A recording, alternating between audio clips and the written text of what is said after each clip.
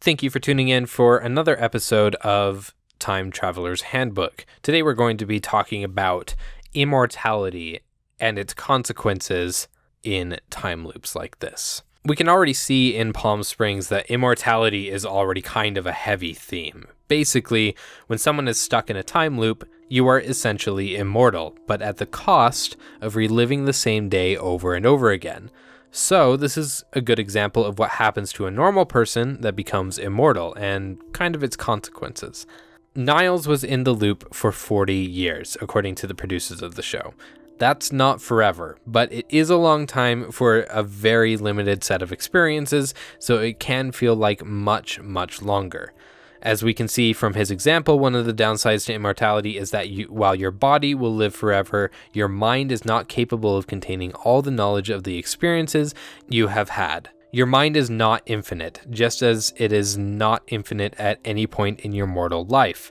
So eventually, you're going to start forgetting things. Nyles doesn't remember his life before the loops very well at all which makes sense if everything you know from the last four decades is the same day over and over again.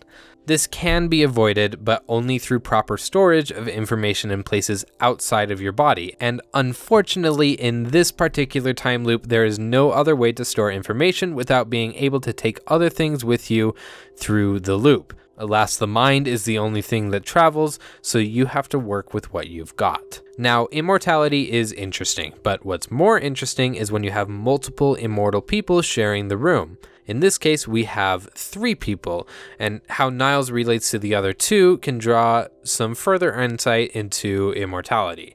We're going to start by talking about Roy and Nyles' relationship, which is primarily one of pain and torture. Something to remember is that while the body is basically meaningless because any amount of damage that you do to it will disappear at the end of the day, the mind is not impenetrable to emotional, mental, and psychological damage. The memory of being tortured, being in pain, and other things give real people gives real people trauma and PTSD, among other mental disabilities. And those are some very real things that can happen to you in a time loop as well. Roy doesn't realize the pain that he's causing to Nyles until he experiences it for himself after Sarah tortures him back. And after that moment, Roy sees the other side of things and says that it's better to not wish pain and suffering on other people. If you can't forget it, that pain will stay with you forever, especially in a closed off world where experiences are limited to a small subset. We're going to talk about Sarah and Nyles' relationship in the next episode, since what happens to you for listening.